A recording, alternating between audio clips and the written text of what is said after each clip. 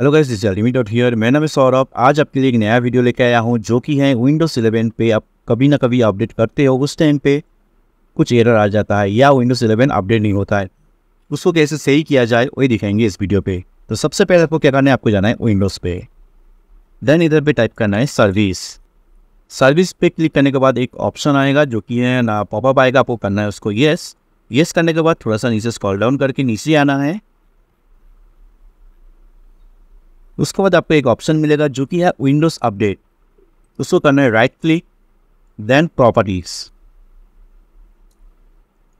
then इधर पे एक ऑप्शन मिल रहा है जो कि है स्टार्टअप टाइप आपको मैनुअल मेरा जैसे मैनुअल है, मैं इसको क्या करूँगा? ऑटोमेटिक करूँगा। Then click to start then start होने के बाद आपको करना है अप्लाई देन ओके देन इसको करना है आपको क्लोज क्लोज करने के बाद आपको इधर पे आना है विंडोज़ पे, फिर से आपको टाइप करना है S C M D then इधर पे एक ऑप्शन मिलेगा जो कि रन एस एडमिनिस्ट्रेटर देन एक पॉपअप आएगा, आपको करना है उसको परमिशन देके यस देन इधर पे आपको कुछ कमेंट लिखना है, जो कि मैं आपको बता दे रहा हूँ। कैपिटल में लिखना है D I S M space backslash online space backslash cleanup then dash image. Space backslash scan help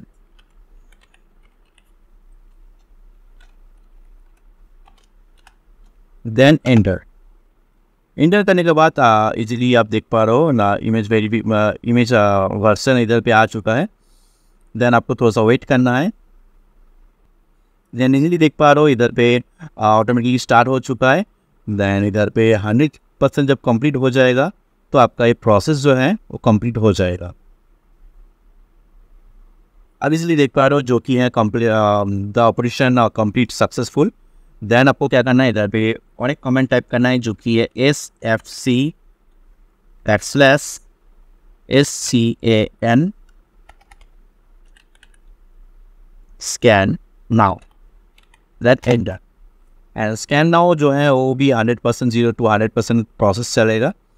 process complete होने के बाद इसको आपको क्या करना है, इसको क्लोज कर देना है। क्लोज करने के बाद आपको क्या करना है आपका कंप्यूटर को एक बार रजिस्टर डालना है। डालने के बाद आपका कंप्यूटर पे जहाँ पे अपडेट सेक्शन है, उधर विंडोज़ अपडेट उधर पे जाके अपडेट कर सकते हो। और जो आपका पास पहले एरर आता था या अपडेट नहीं होता था, वो जो प्रॉब्लम है, वो सॉल्व हो चुका है।